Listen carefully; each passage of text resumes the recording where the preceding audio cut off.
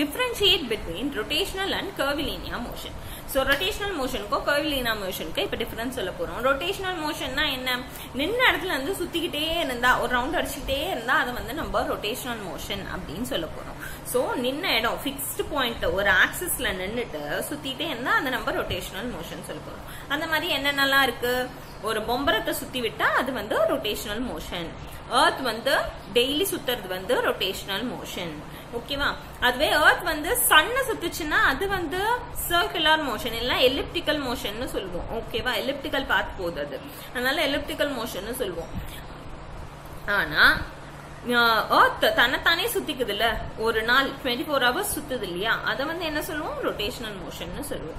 ஓகேமா அடுத்தது கர்பிலினியா மோஷன்னா என்ன? ஒரு ஆப்ஜெக்ட் வந்து இப்ப மேல போயிட்டே இருக்குன்னா சடனா கொஞ்ச நேரம் கழிச்சு கீழே இறங்கிடும். So change in position direction இப்ப மேல போயிட்டே இருக்கு. அது சடனா கீழே விழுது.